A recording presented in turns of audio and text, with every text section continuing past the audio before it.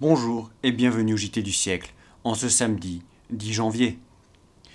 Aujourd'hui à 4 heures aura lieu au ministère des Affaires étrangères la cérémonie de la signature du protocole qui mettra fin à l'armistice et celle de l'échange des ratifications qui rétablira définitivement l'état de paix entre les Alliés et l'Allemagne.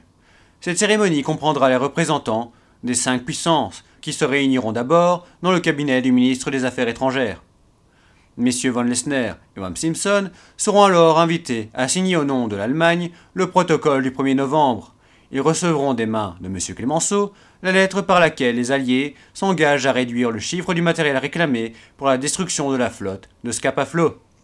La deuxième partie de cette cérémonie se déroulera immédiatement après dans le salon de l'horloge.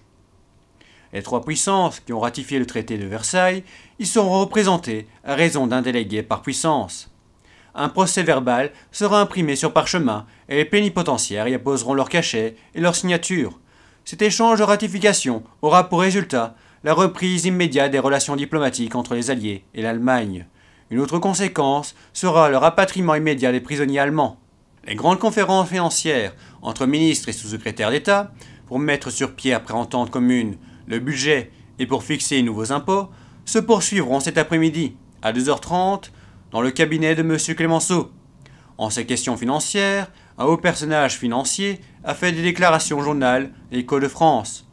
Il déclare que la France n'a pas su s'imposer pendant la guerre.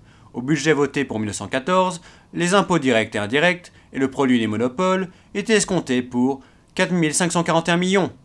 Au budget de 1919, les prévisions correspondantes sont de 8 240 millions, soit une augmentation de 3 699 millions de francs, représentant plus de 80% du chiffre de départ.